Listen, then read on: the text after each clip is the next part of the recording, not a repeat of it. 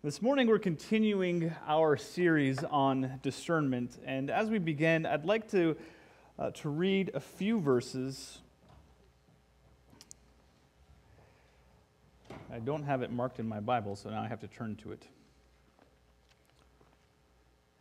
In Deuteronomy, chapter 32, and in this text, this is um, at the end of Moses' life, and he's given um, this speech. It's called the Song of Moses, and it's a speech about the work that God has done. But I just want to read these first three verses as a call to hear, a call to listen. And, and may we receive these words this morning, just as the people received them when Moses gave them, as a call to listen to the word of the Lord. Verse 32, sorry, chapter 32, verse 1, it says this Give ear, O heavens, and I will speak. And let the earth hear the words of my mouth. May my teaching drop as the rain, my speech distill as the dew like gentle rain upon the tender grass, and like showers upon the herbs. For I will proclaim the name of the Lord. This is the word of God for the people of God. Thanks be to God. Uh, Heavenly Father, as we are here with open ears, may we hear from you.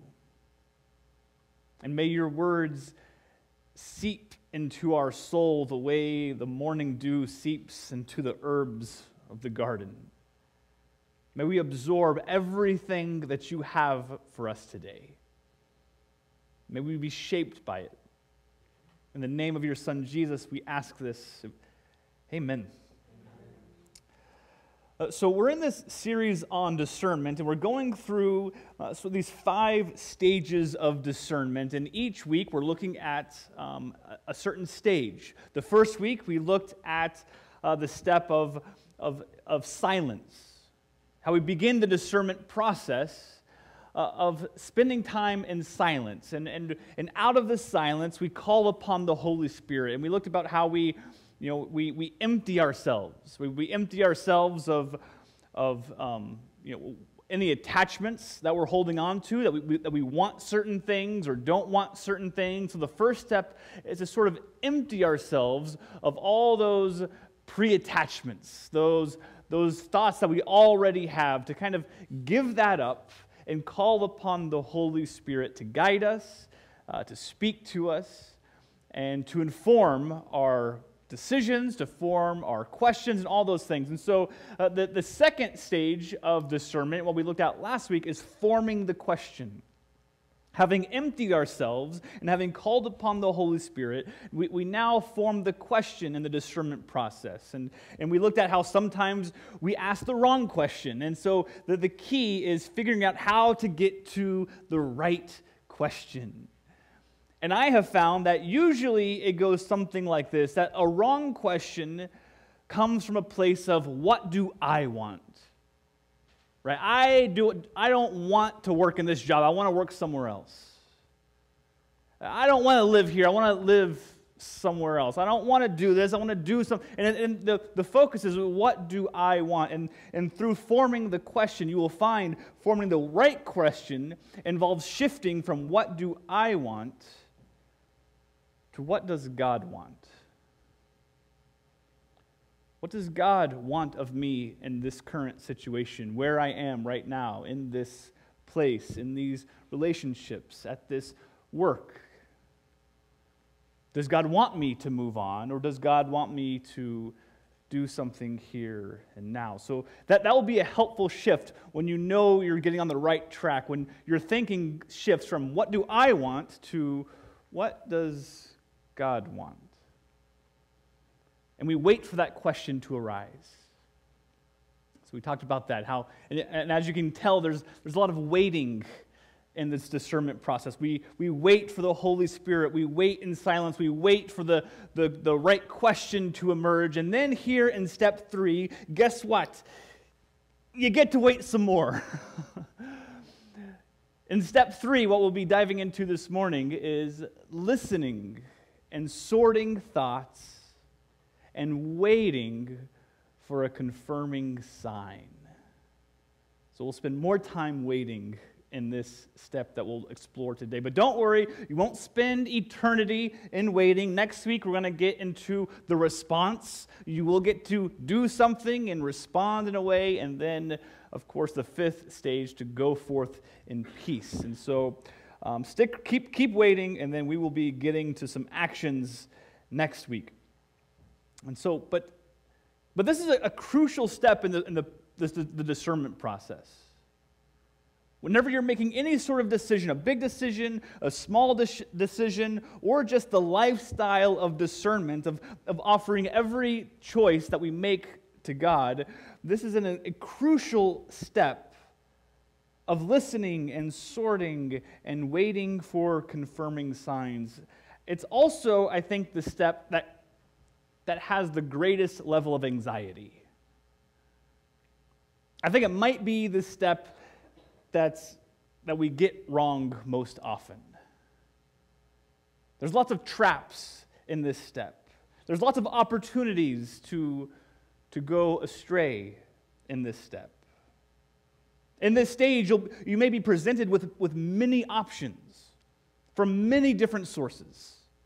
If it's a decision about work, you might be thinking about okay, do I stay here or do I leave? Do I do I leave the state? Do I go to a different state? Do I change my career altogether? Do I stay at the same company but change, I'll go to a different position? Do I go to a different company in the same position or a different company in the same position? And all, and all of a sudden, all of these options are flooding you.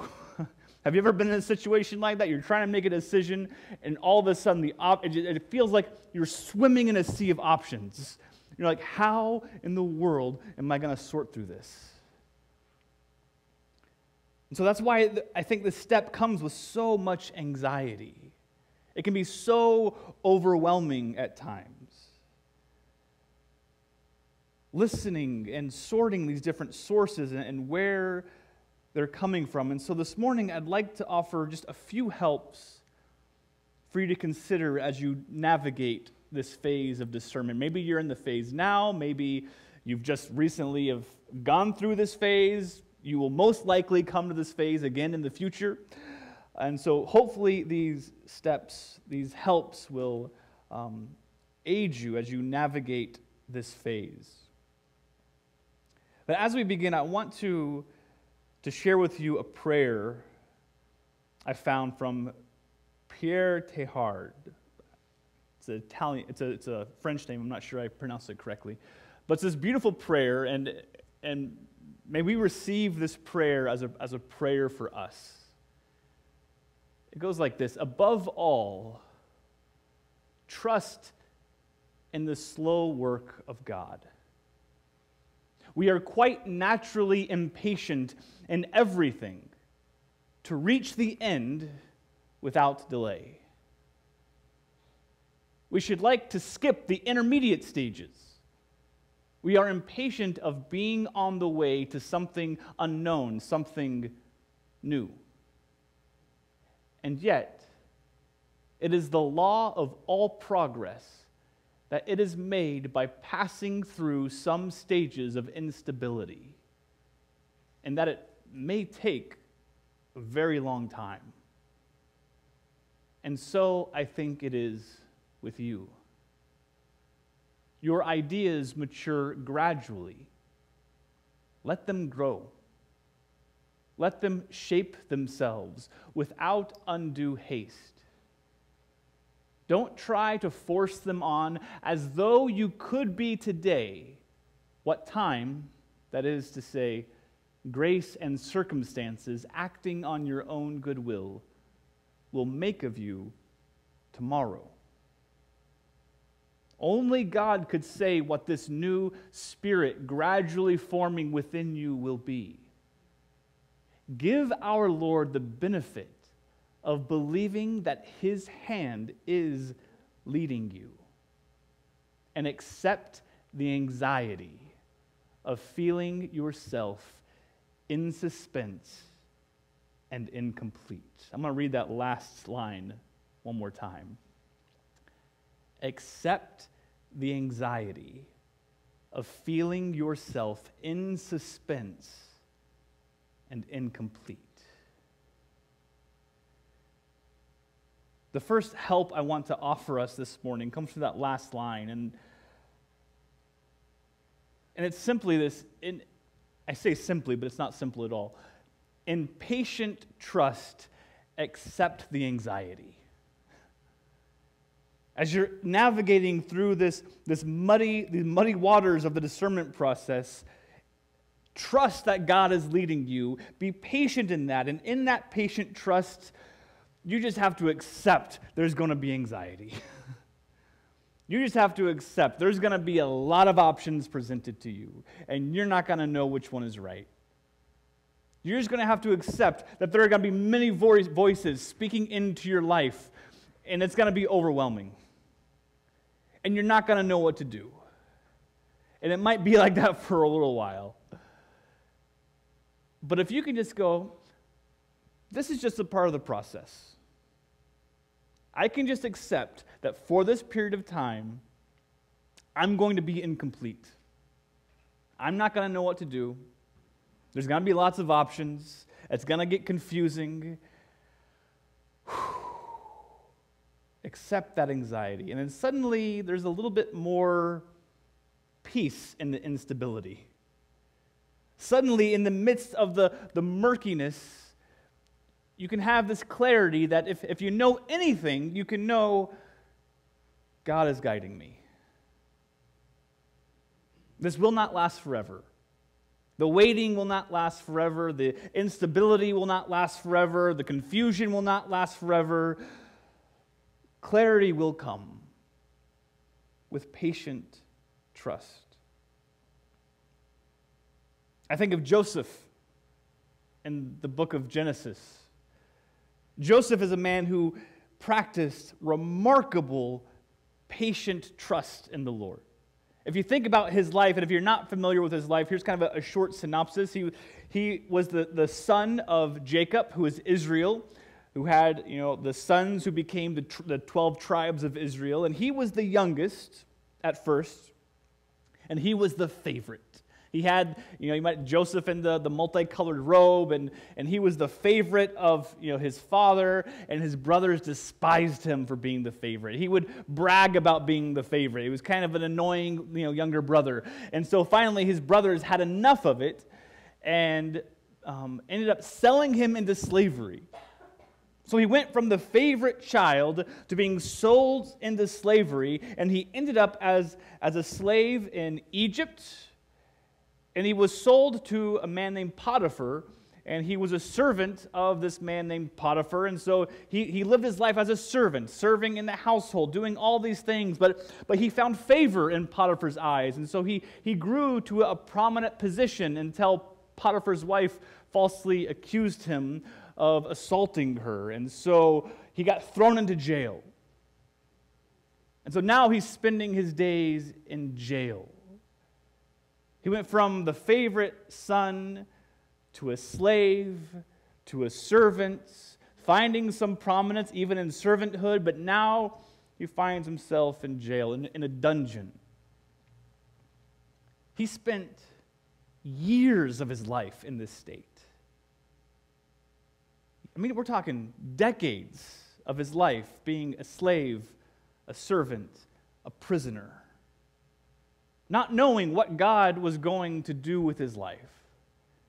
And yet, if you know the story, he ends up interpreting some dreams. He kind of gets the ear of Pharaoh. He gets out of prison and is placed in a prominent position in Pharaoh's court. He was the second most powerful person in Egypt. There was Pharaoh and there was Joseph. And God placed Joseph in Egypt and gave him the, the, uh, the gift of interpreting dreams to save thousands of people from famine. God used all of this roundabout way of, of being a slave and being a servant, being betrayed by his brothers, and all of this heartache and pain and suffering and uncertainty. And at the end, God placed him in a place where he was able to be a blessing and save thousands of people from, from starving to death. And then his brothers come to Egypt. And the brothers don't recognize Joseph, but Joseph recognizes the brothers, right? And so, to make kind of the long story short, Joseph reveals himself to his brothers, reveals that he is this prominent person in Egypt. He is the one who is saving them. He is the one who is that they are bowing down before, and, and he brings his whole family to Egypt. Um, and then at the end of the book of Genesis, um, after Israel dies, all the brothers go to Joseph and they beg his forgiveness. And Joseph says something remarkable. He says, What you intended for harm, God intended for my good. That's patient trust.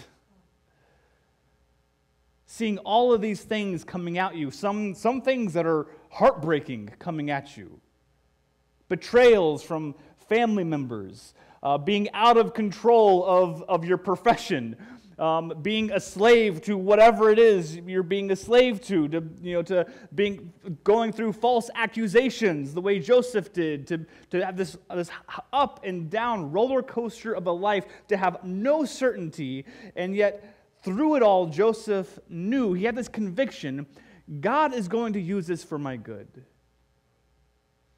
It will not always be this way. What even my family uses for my harm, God will use for my good if I can patiently trust Him and accept the anxiety of being incomplete.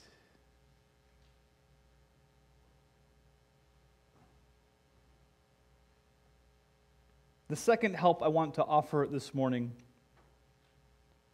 is that as you sort the sources, Listen with your heart. As you sort the sources coming at you in the discernment process, listen with the ears of your heart. We've called upon the Holy Spirit, we have formed the question, and then as the options arise, we begin the sorting. And thoughts begin to rise. Some you know, conflicting thoughts, some competing thoughts, some challenging thoughts, some provoking thoughts, and, and, the, and we're sorting through which of these thoughts are from God. Which of these are am I directing towards God? Which of these thoughts are coming from others? Or that I'm directing towards others? Which of these thoughts are coming, emerging from within me? Or that I'm even aiming at myself? Right? We're sorting this this mess of these sources. And I think that as we, as we sort through this, I think of Elijah, right? Another wonderful a biblical example, this prophet of the Lord. And, and Elijah was, was a man of God, a, a, a courageous, you know, powerful prophet of the Lord who faced a lot of adversity.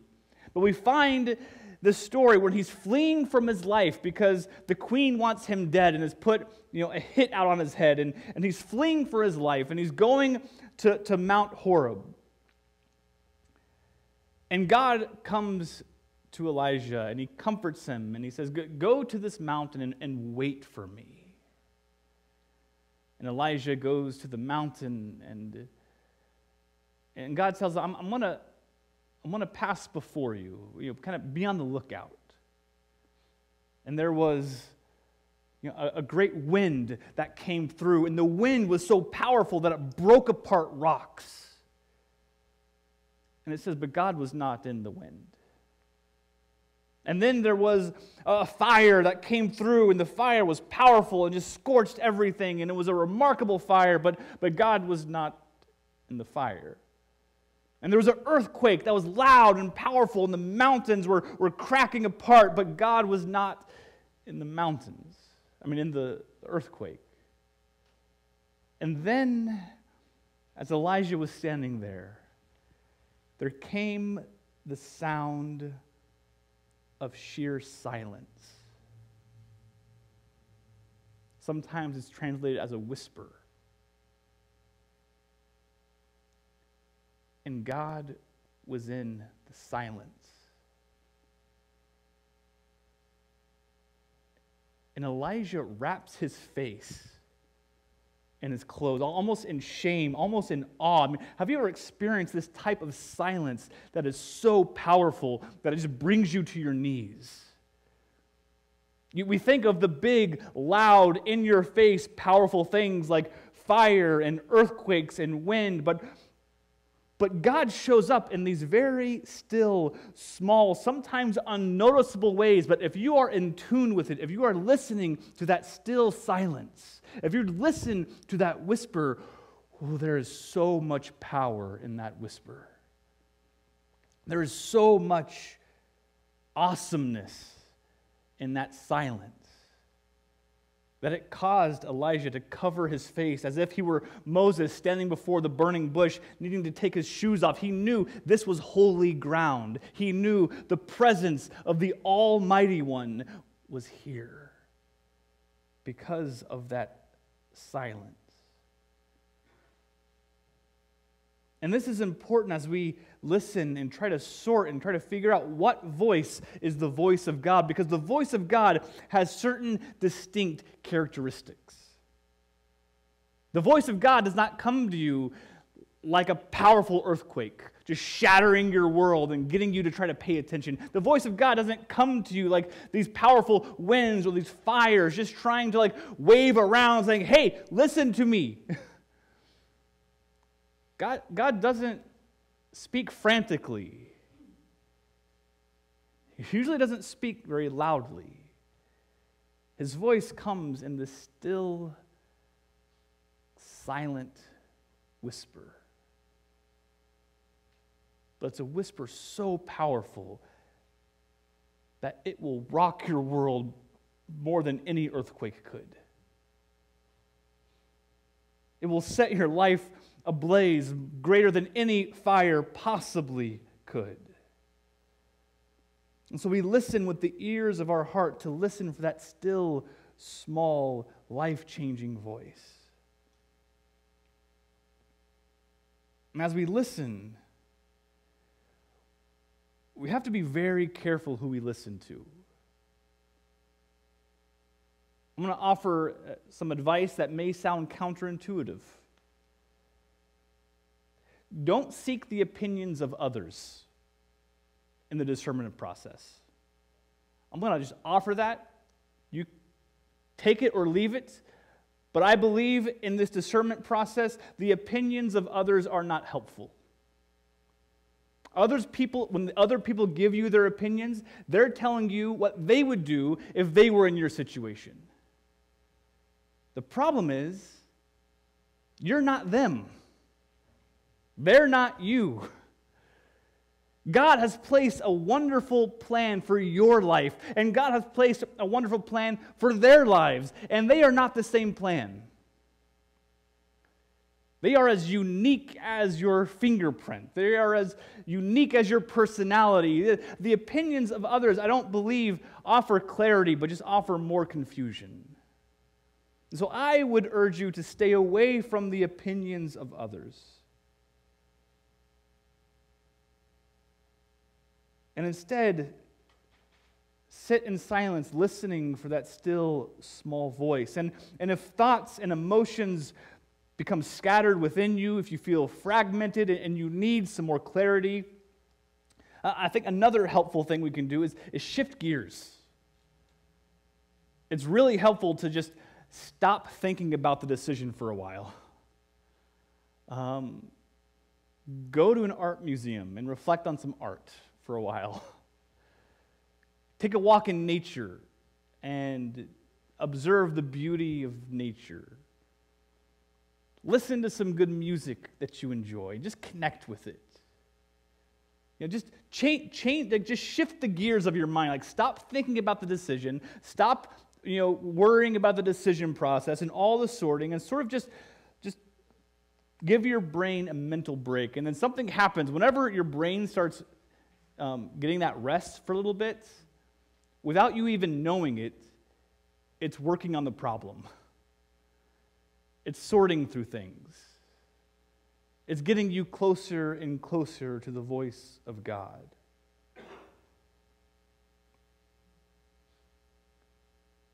And as you're going through this process and as you're sorting through these different things and you're trying to live with the anxiety,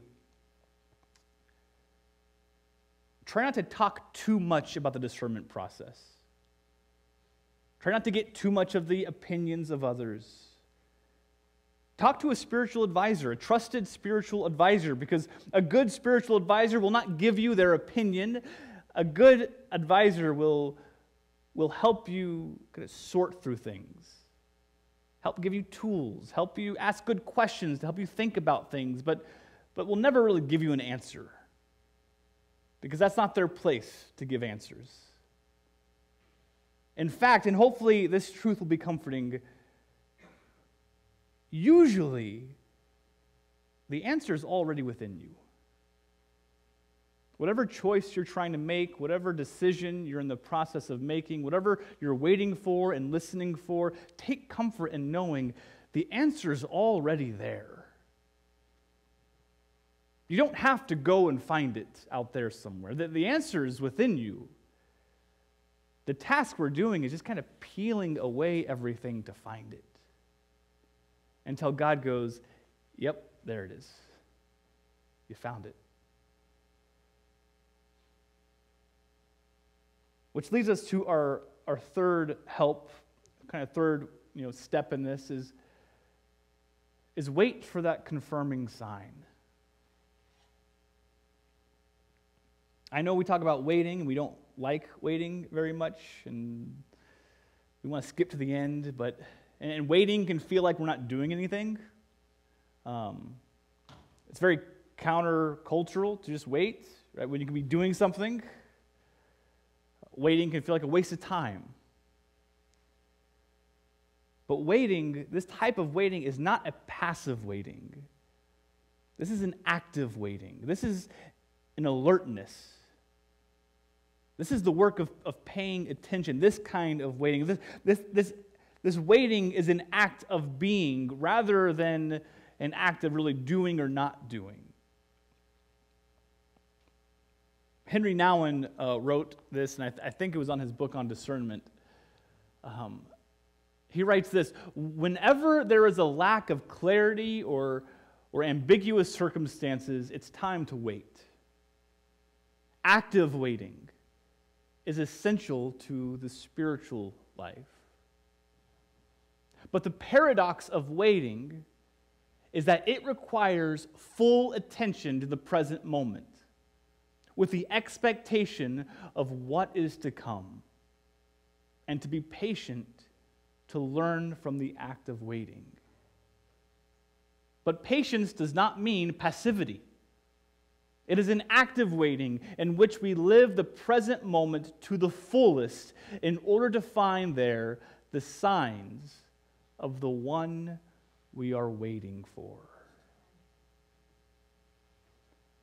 This is an active waiting we're talking about. I think of the people of Israel as they, st- they stood before the Red Sea, right? And the Egyptian army was coming up behind them, and they, they were about to be you know, demolished by the Egyptian army.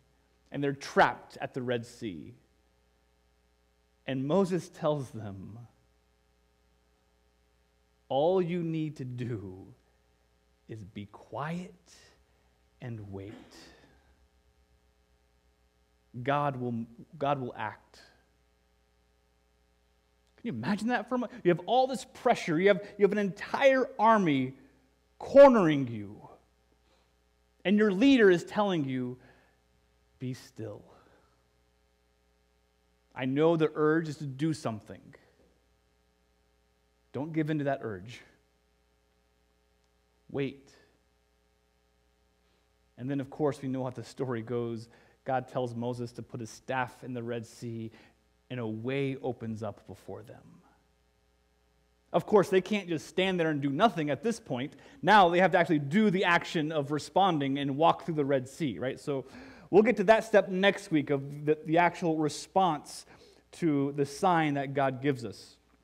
Um, but wait for these confirming signs. These, uh, just really quick, um, some helpful things for what confirming signs will be. A confirming sign has the indicators that it will be good for me. It's a good thing that I'm going to walk through this Red Sea and not get caught by the Egyptian army. Okay, this is a good thing. This is, this is confirming. Uh, the sign comes from the outside, it's not my idea, right? It's, it's something that comes from the outside. The sign pertains to the question at hand. There's a link, there's a connection that I can see. It won't be too um, obscure for you. It'll be a, a, a, link. God will give you a sign that makes an obvious connection that you can see and tell. And the action I need to take has an accompanied grace to make it possible, even if it's difficult. It might be hard to run through the bottom of the Red Sea with an army chasing you, but God will give you the grace to get there. it may be hard, but there's a grace. It is a, it's possible. You can do it, even if it's hard. And the sign is big, or at least in proportion to the gravity of the decision. It rules out doubt. As you wait for these signs, as you see these signs, you'll be able to recognize oh, now I have clarity. There's no more doubt on the sources, there's no more doubt on the options. This is it. And God is patient with us as we're waiting for these signs. He's gracious, he's very gracious. I think of Gideon in Judges. Another story, if you're, if you're not familiar with uh, the story of Gideon and Judges, God has called Gideon to be kind of be raised up as a hero to go save his people from captivity. But Gideon's unsure. Gideon has, he has this call placed upon his life to go and rescue the people of Israel, but Gideon's not so sure this is what he should be doing. So he asks God for a sign. He has a piece of fleece. He, he lays out the fleece and says, God, if, if this is really what you want me to do, when I wake up in the morning, um, in the, in the morning dew has made everything wet, have the fleece be dry. And if you do that, I, I will know that this is what you want me to do. And so he wakes up the next morning. The morning dew has made everything wet, but the fleece is dry. But Gideon, he still doesn't get it. He's like, ah, I'm not so sure. I, you know, um, and, and he even to God, God, forgive me for asking this, but uh, I'm still not sure. I know you did exactly what I asked you to do, but I'm still not sure. And maybe you can relate to that. Maybe, maybe you've asked for something and God gave it to you, and you're like, yeah, I'm still not so sure. That's Gideon. Gideon, he, he, he asked the opposite. He said, okay, God, if, if I'm going to put the fleece back there, and then tomorrow, if the fleece is wet and everything else is dry, then I'll know that you are calling me to this. And God is patient and God is gracious, and He gives Gideon the sign. He wakes up the next morning, the fleece is soaking wet, and everything around it is dry. So don't worry if you miss the sign. Don't be looking and go, I don't know, was that the sign? Oh, I'm not, I'm not so sure about that. I'm, I'm still confused. Oh, was that the sign? Oh, did I miss it? I don't know. Can I ask for another sign? Yes, you can. keep asking, keep waiting until it's like, all right, this is it. And then it wouldn't hurt to just thank God for being patient with you because this we're slow sometimes. So um, keep doing this. I, Matthew, Jesus tells us in Matthew 7. I'm not sure if I have this text up here. We'll find out. Yes, I do. Jesus tells us ask, it will be given to you. Seek, and you will find. Knock, and it will be opened. A more literal translation keep asking, and it will be answered. Keep seeking, you will find. Keep knocking, it will be opened. This, you don't need to just ask once and then wait and then be in despair. You, you, be persistent in this. Keep asking, keep seeking, keep knocking. Remember that when Jesus says, I am the way, believe those words. These are beautiful words of hope and promise that there is no circumstance in which the living presence of Jesus, hidden though it may be, cannot guide us. There is no circumstance where His presence cannot remove the obstacles blocking us or give us the strength to, to move ahead. He is the way, and we must confess that boldly. But also remember that, that His assistance is not a magical incantation or a, a wand you can wave.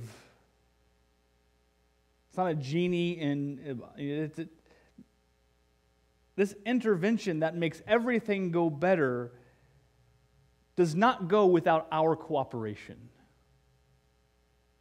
God acts for us, but never without us.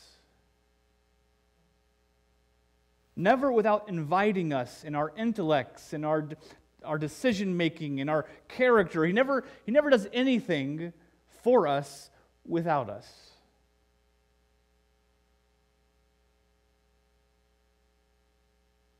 The discerning life is a life of communion with God. It's a life with Him. It's the same withness, it's the same communion that we find at the table. In a moment, we are going to take communion together. And,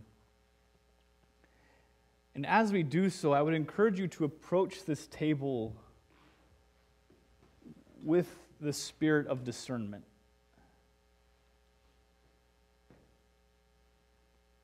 As you empty yourself the way Christ emptied himself. As you call upon the Holy Spirit, in the same way the Holy Spirit led him.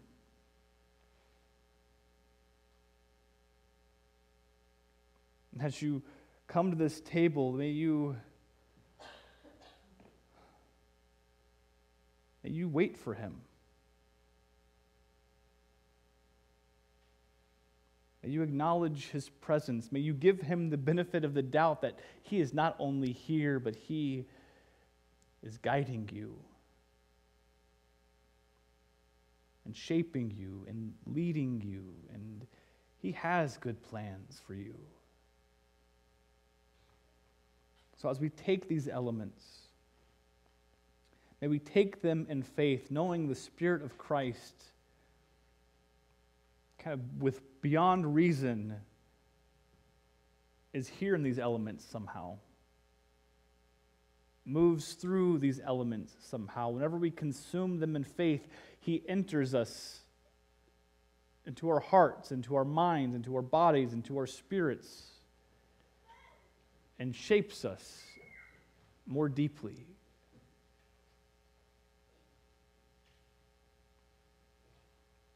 On the night that Jesus responded to the will of God by going to the cross for us, going in the wrong order. He sat down with his disciples and he took the bread and he broke it, saying, This is my body. This is the goodwill of our Father in heaven that, that I would be given, broken, so that you could be made whole. Take and eat this.